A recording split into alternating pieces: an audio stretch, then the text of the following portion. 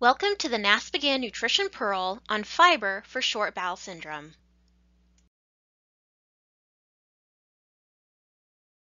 Soluble and insoluble fibers have different actions in the body with positive, negative, and uncertain implications for short bowel syndrome. Taken together, is fiber good or bad for these patients? First, it is important to consider the patient's anatomy. For those with ostomies, both insoluble and soluble fibers are not indicated. Studies have yet to demonstrate improved fluid absorption.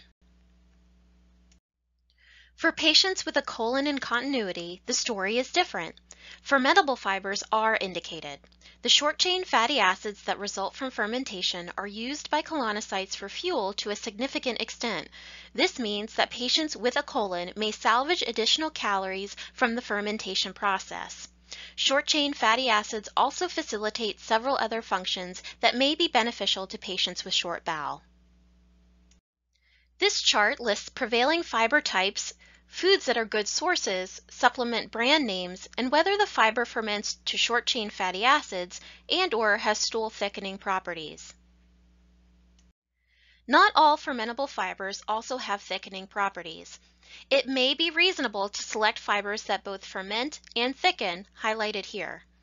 Even though stool thickening does not necessarily mean that a patient will absorb more fluid, thicker stools may help quality of life of children and families managing stool output. How have fiber supplements been used or studied in pediatric short bowel syndrome? Common practices are listed here. It is important to note that these are practices based on either clinical experience or small studies. Here are the key take-home points or pearls on this topic.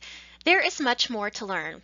Thank you for your participation in this NASPGHAN Nutrition Pearl, Fiber and Short Bowel Syndrome.